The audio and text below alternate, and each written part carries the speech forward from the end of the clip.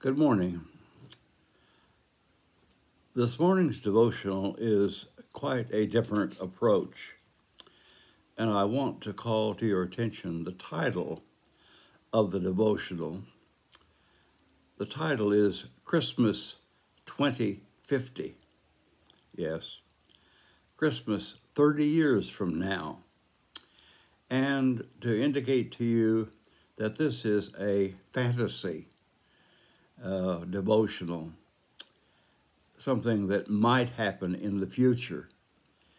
And it's sort of a uh, concern for me and perhaps for you. I'm asking myself what is happening to Christmas? And are there some things that we can do to lift up and home in and center on the real meaning of the Christ event. So, reminding you that the title is Christmas 2050, let me read the devotional for this morning. As we entered the sanctuary that Christmas Eve, the organ was playing the lilting music of O Christmas Tree, O Christmas Tree. She had opened all the stops and the melody filled the entire room. As we stepped inside the doors, our eyes were greeted with a spectacular scene. In the center of the sanctuary was a huge evergreen tree. It was 30 or more feet.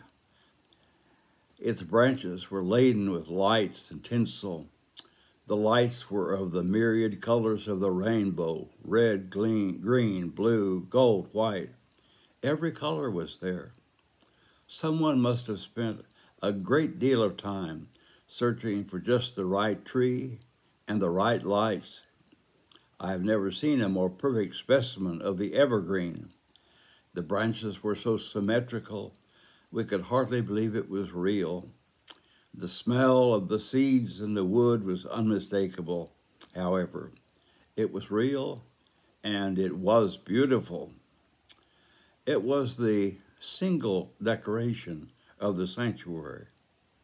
There were no crosses, no cribs, no candles, no creches, nothing else, no manger scenes. The tree dominated and filled the sanctuary.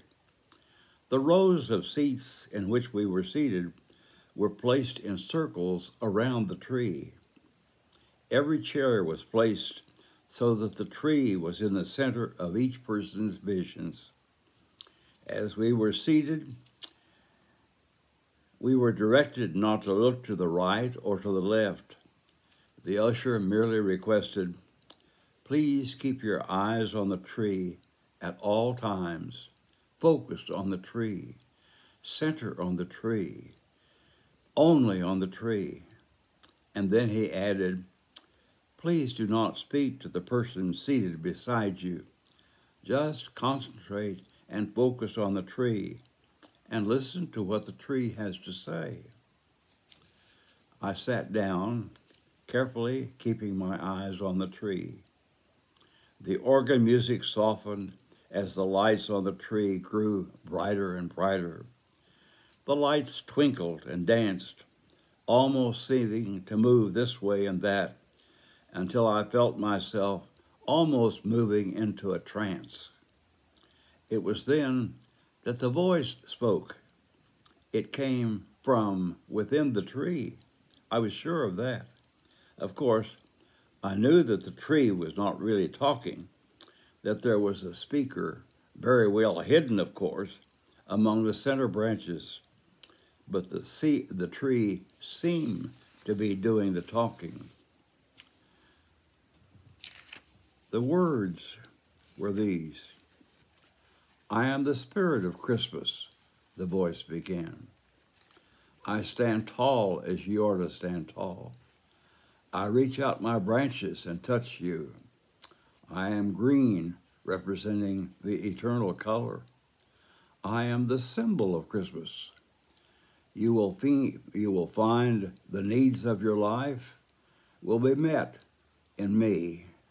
I am a tree, but I will meet your needs. You will find understanding and peace when you come to worship me. I am the meaning of Christmas. I listened to the voice and the words. Then there welled up within me a feeling that somehow, somewhere, the real meaning, the real symbol of Christmas had been lost, given up, given away. Surely there was more to life than greatness and the greenness of the evergreen tree.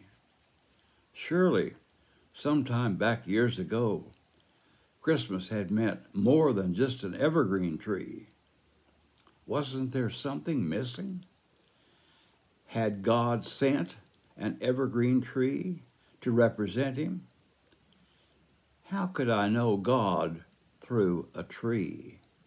As beautiful as it was, with all the lights, all the tinsel, all the colors, was this the symbol of God? Didn't God have any better way to let me know how he felt about me than through an evergreen tree?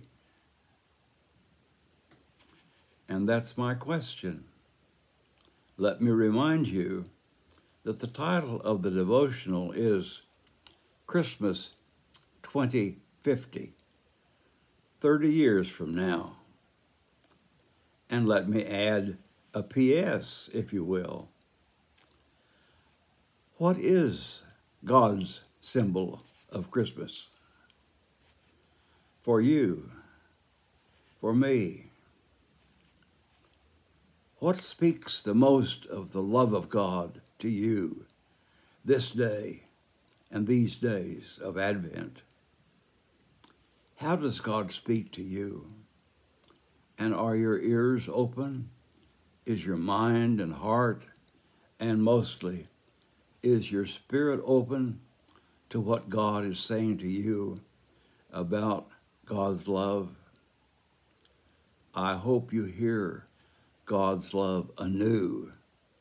Christmas 2020.